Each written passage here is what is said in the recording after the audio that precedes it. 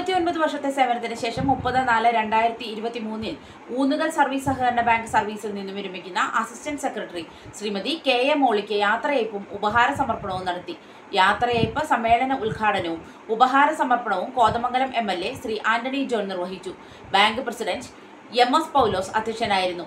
ചടങ്ങിൽ Shibu Padaparambath A T Paulose Joy P Mathew Joy Arambankudi advocate M K Vijayan Peter Mathew Thomas Paul Joy Paul Sajeev Gopalan Gracy John Eby T M Mosy George എന്നിവർ പ്രസംഗിച്ചു.